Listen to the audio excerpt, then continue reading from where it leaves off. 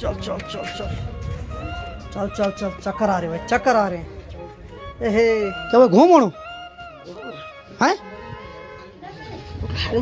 बुखार होनो तो भाई दादी को चक्कर आ रहे हैं तो हम बाइक पे ले जा रहे हैं क्योंकि चल नहीं पा रही अब। बहुत ज़्यादा वीकनेस आ रखी है। और बाइक पे भी नहीं बैठ पाई बहुत मुश्किल से बिठाया हमने। कान लगना आज अपने को? और माँ भी यहाँ बैठ रखी है अरे वाह कैसा लग रहा है आज? क्या लगी तेरे दादी?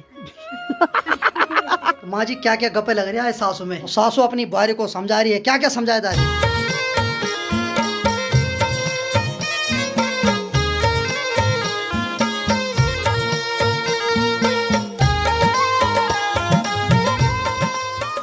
तो चलिए जी, नए दिन के साथ नई ब्लॉग की शुरुआत भी कर लेते हैं। तो हेलो दोस्तों, क्या हाल चाल है? मैं बिल्कुल मस्त हूँ और उम्मीद है आप लोग भी जहाँ होंगे, स्वस्थ होंगे, मस्त होंगे, परिवार के साथ व्यस्त होंगे। मेरा नाम है रविंद्र भोगना और स्वागत करता हूँ आपका देवभूमि उत्तराखंड के इस खूबसूरत से गाँव से। तो मेरे गाँव का नाम है धौंतरी, जो कि देवभूमि उत्तराखंड राज्य के उत्तरकाशी ज़िले में पड़ता है। तो मौसम की बात भी कर लेते हैं। मौसम की अगर बात की जाए तो आप देख सकते हैं पूरी तरीके से नीला तो नहीं है हल्के फुल्के बादल भी हैं, लेकिन सूर्य देव यहाँ पर है तो काफ़ी अच्छा लग रहा है। और यहाँ की बात की जाए तो शेरू महाराज भी बंदर भगा के आ गया है, खाना भी खा रहा है और साथ में यहाँ पर जो पतीले पे पानी दे रखा है, वो भी पी रहा है। तो मैं भेजे के यहाँ जा रहा हूँ, बाकी माँ जा रही है घटवाड़ी। घटवाड़ी तो माँ घटवाड़ी जा रही है, यानी कि जहाँ हमारा घराट होता है, वहाँ गेहूँ पीसने के लिए रखे हुए हैं परसों से तो आज वहाँ जा रही है। तो हमारा जो घट है, वो इस धार के पीछे है, यानी कि नदी क्रॉस करके उस धार के पीछे जाना है माँ को। यानी कि एक डेढ़ किलोमीटर दूर है हमारे यहाँ से, बाई रास्ता।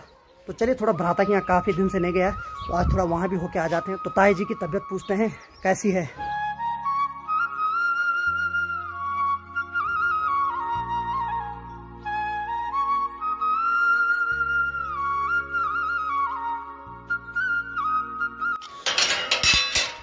बाजू प्रणाम। ओहो, हम तो ठीक है बा। बड़े प्रणाम। ठीक है तबीयत पानी? हैं? मैं स्पेशल तेरे माने आया मैंने कैसे तेरे तबीयत ठीक है? और बाकी इसका बुखार कैसा है बुढ़ी? बुढ़ी प्रणाम कौन करेगा? प्रणाम कौन करेगा? आज ये बताओ पहले। जय हो जय हो खुश रहो खुश रहो खुश रहो खुश रहो। तो भाई बुढ़ी को काफ़ी दिनों से बुखार आ रहा है इसलिए इसके चेहरे पे आज रौनक नहीं है। मायूस हो रखी है नहीं बुखार आ रहा बहुत आ रहा सेंटर फ्रूट से ठीक हो जाएगा? नहीं होगा? चलो ठीक आज नहीं देता तब। तो भाई उसका जो मेन है अगर मुख्य जो देखा जाए तो सेंटर फ्रूट ही है। एक रुपए का सेंटर फ्रूट काफ़ी कुछ बदल देता है। तो देखते हैं शायद उसका बुखार रह जाए। तो अभी वो मेरे पास जब खुद आएगी तब दूँगा। उससे पहले चुप रहूँगा। तो भाई जी प्रणाम। सुप्रभात। उड़ गए।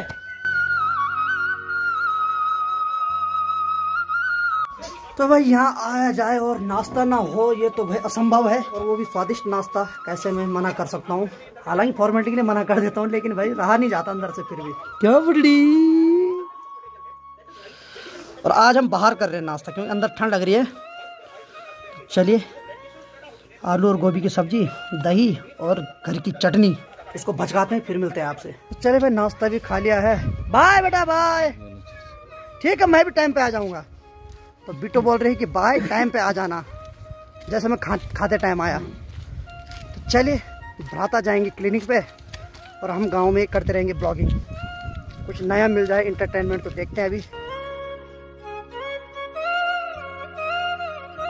तो चलिए भाई माँ भी आ गई है। क्या है माँ तो माँ ने पिंडवाड़ी ला दिया है। पिंडवाड़ी का मतलब होता है जो कि पिंडा होता है, जिसे कि भैंस को दिया जाता है। और घटवाड़ी का मतलब हो जो घट से आटा लाते हैं उससे तो हम रोटी खाते हैं, लेकिन पिंडा जो होता है, वो भैंस को दिया जाता है। चले भाई, भ्राता भी जा रहे हैं अपनी क्लिनिक पे। ठीक है भाई, ठीक है। बाकी तुम्हारा भाई आज अकेले है फौजी साहब की तो पूजा चल रही है घर में तो वहाँ डिस्टर्ब करना भी सही नहीं। थोड़ी देर में जाऊँगा वहाँ, तब तक घर में रहता हूँ, बैठा हुआ। आज माँ भी घर में है ही। बाकी शेरू महाराज हाँ जी? हेलो आराम? ठीक है तो शेरू महाराज आराम कर रहे हैं। और माँ तो घर से आने के बाद भी लगी है काम पे माँ? लगे हैं काम पे? तो भाई माँ तो बिल्कुल नहीं बैठती यार मैंने कई बार बोलते थोड़ा आराम करो। अब वहाँ अंदर से गोबर साफ़ करने लगे अब। हैं? तो ब्याज बांझ ले आई अब लग गए अंदर भी साफ़ करने। यानी कि कल बांझ लाया अभी घट से पिंडवाड़ी लाया और अब फिर गोबर साफ़ करने लग गए गौशाला का। भाई सल्यूट है भाई धन्य हो प्रभु। उफ, मैं तो सोच भी नहीं सकता भाई करने तो बहुत दूर की बात है। भगवान फण खाए भाई हम तुम्हारा नाम लिखने वाला अरे अरे वो बढ़िया नहीं दीदी काज कर बना बना काज कर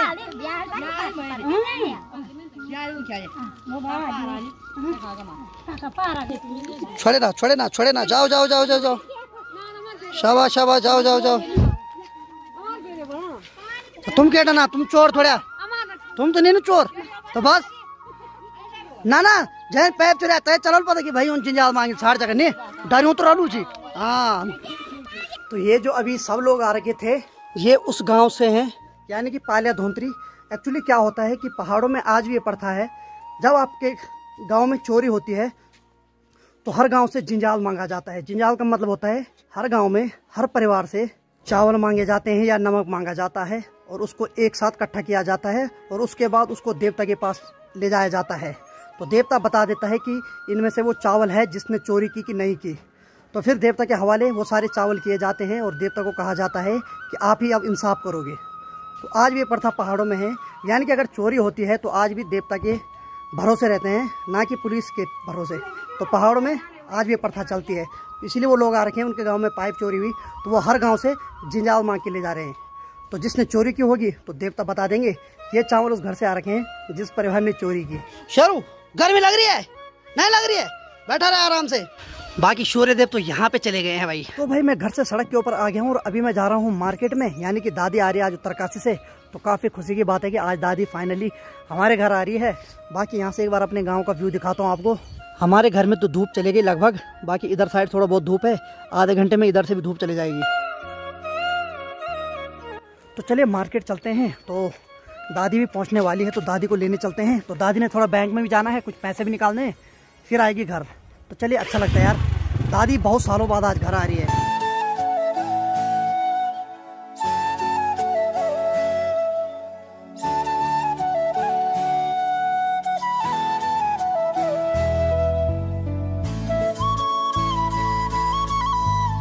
तो भाई साहब फाइनली एक घंटे तक इंतज़ार करने के बाद अब जाके दादी उत्तरकाशी से आई है। दादी को आ रहा चक्कर।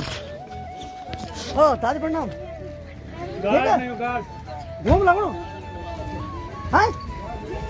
तो भाई दादी को चक्कर आ रहे हैं। गाड़ी का ट्रेवल किया ना आज। चालीस किलोमीटर। चल।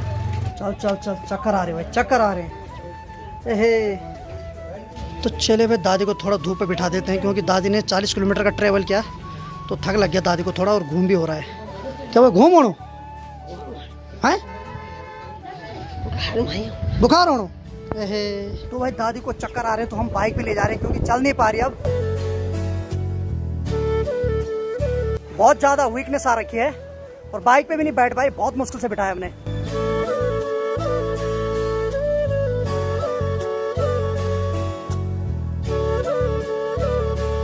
तो चले भाई दादी को हमने उतार दिया बाइक से। तो कैसा रहा सफ़र? बाज बागी बुखार आ रहा ने कान लाउन आ जा पड़ा गो मालूम तो दूध पिलाऊं तो है। दूध पिलाऊँगा तो तब।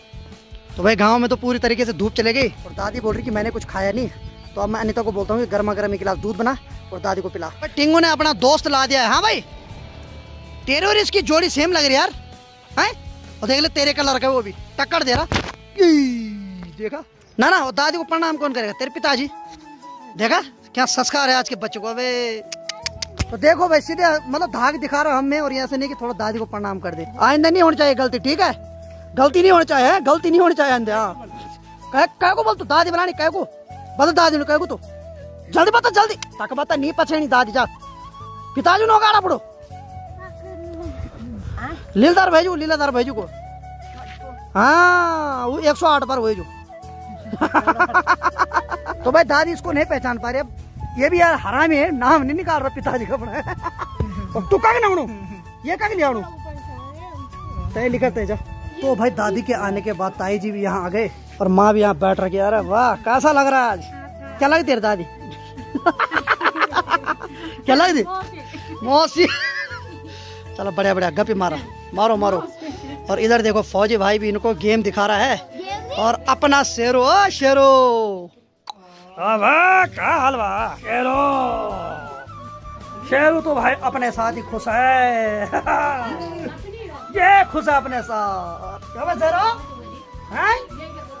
बस हो गया हो गया। हो गया हो गया हो गया। अब हो गया हो गया हो गया हो गया। बस बस बस।